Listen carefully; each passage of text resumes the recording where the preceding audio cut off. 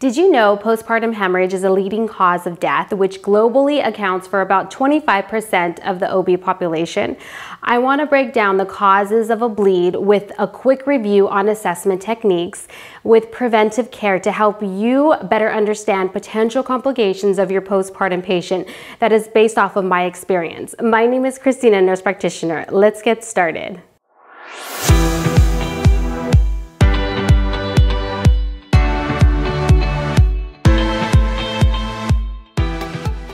Postpartum hemorrhage is from a significant blood loss that will occur within the first 24 hours of delivery, that is referred to as primary. Blood loss after 24 hours would be considered secondary. So let's say you receive report from your L&D nurse in the OB.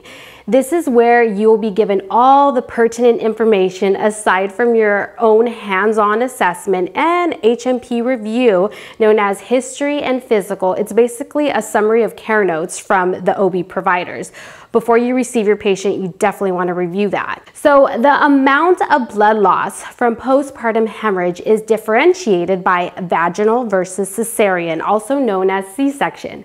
If the mother had a vaginal delivery, it would be greater than 500 mils of blood loss. It's considered a hemorrhage. Or if the mother had a C-section with greater than a 1,000 mil blood loss, it would be considered a hemorrhage as well.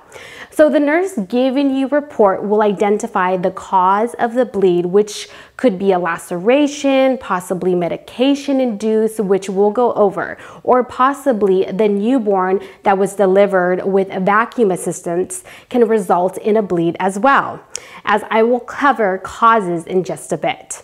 So you got report First thing you want to do is make sure mom and baby are safe. For this section, we'll solely focus on mother's postpartum care. So you want to start with a set of vital signs. It'll include your blood pressure, heart rate, saturation level, your respiratory rate, and your pain level. And you want to identify what's tolerable for the patient and what number is an ideal pain level for the patient.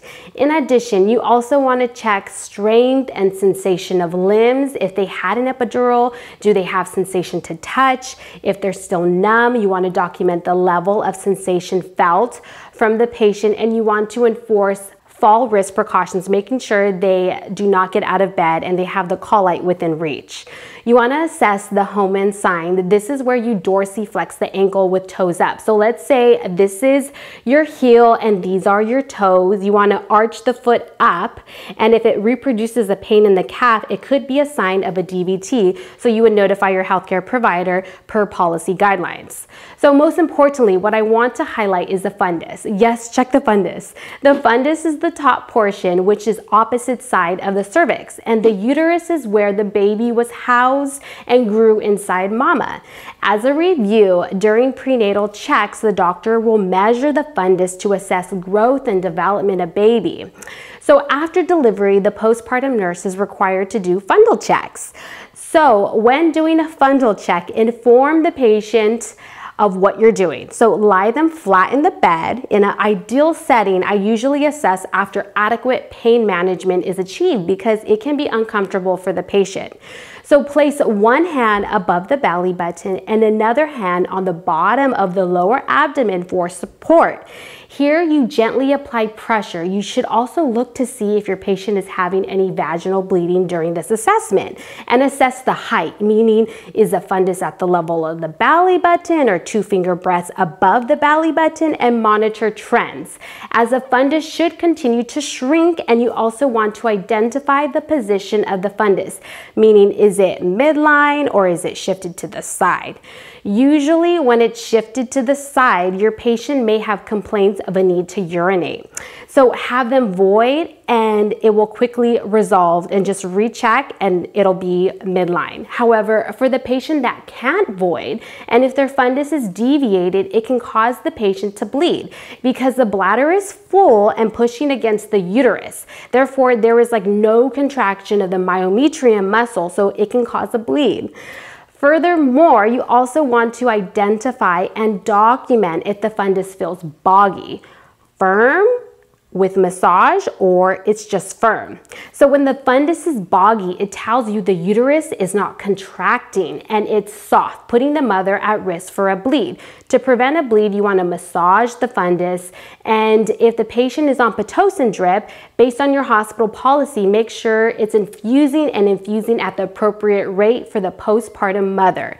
Pitocin is great. It helps with contraction, therefore prevents bleeding. So your ideal fundal check would be immediately after delivery. The fundus should be midline, so center and firm, and typically near the level of the umbilicus. However, it varies. So now that you know the highlights of what needs to be assessed for your postpartum mama, let's talk about causes for postpartum hemorrhage. So history of the patient is key because what if your patient has a history of von Willebrand's disease, also known as VWD? This would be a high risk pregnancy as it's a great risk for a bleed, so close monitoring is essential and frequent blood checks. Or the mother that had a placental abruption, which is separation of the placenta from the uterus or the mother with DIC, which is disseminated intravascular coagulation. This is when small little blood clots form throughout the body, blocking small blood vessels as platelets and clotting factors are used up. So symptoms would include chest pain, shortness of breath, and leg pain. This reminds me of a secondary bleed, meaning this can occur after 24 hours for your high risk patient. And also medications given during labor. So be mindful. Some of those are magnesium sulfate, terbutaline, or nifedipine. These meds increase the risk of uterine atony, meaning it diminishes contraction and can result in a boggy fundus that can cause an increased risk of a bleed. Or the mother that suffered from a trauma, such as a laceration or vacuum assisted delivery. And never ever assume a firm fundus you're in the clear. Always visually look and check to see your patient's pad count and how many times they're having to do pericare. Another common reason for a bleed is from a placental fragment. This can occur from a sudden gush of blood and it can also happen after the 24 hour mark. In this setting, you want to keep the patient calm in bed, monitor symptoms, making sure patient does not become symptomatic. Make sure you want to notify the doctor on call to evaluate the patient at the bedside. Also check blood pressure trends and help support the blood pressure with fluids if hypotensive or pressors if acuity is high and check vital signs frequently. Typically what will happen is the doctor will come and check with an ultrasound after the bleed to see if there are any fragments of the placenta retained within the mom's uterus. That could be a reason for the bleed. So moving on to interventions. So with interventions, you always want to treat the underlying cause. So if it's a placental fragment, it can be manually removed. In this setting, pre-medicate the patient with IV pain meds, please do, such as fentanyl or Dilaudid based on what is ordered. This can also be removed in the operating room. It just depends on the preference of the doctor. Sometimes a hematoma can occur that goes unnoticed. So this is why it's so important to visually check the vaginal area. And in this setting, a stitch can be done to resolve the bleed. And sometimes vaginal packing is used to prevent bleeds from occurring as well. Some medications that can help stop the bleed is methergine, that's an awesome med, Pitocin, always commonly used a lot, or Hemabate. This allows for contraction and resolution of bleed. So postpartum discharge teaching. So a little visual of vaginal anatomy is key before discharge because when I have my shifts with mamas, I teach them, hey, you got a muscle which is attached to your uterus and it contracts to prevent bleeding. And the contraction may feel like cramps, it's uncomfortable, but it's a good thing. That tells you and me that your body is doing what it needs to do. So you're gonna have bleeding for the duration of six weeks. So they need to know this information before going home that they're gonna have bleeding for the duration of six weeks. However, it's gonna start to taper down. They need to know if they soak more than two pads within one hour, they need to notify the doctor or seek medical care because it shouldn't be that much. And as the weeks progress, they should start to taper down with the bleeding and not bleed so much. For the high risk mama, they're obviously going to be having more frequent OB checks, but that'll vary based on the doctor's recommendations. Again, thank you so much for watching. Be sure to subscribe for upcoming notifications. Take care.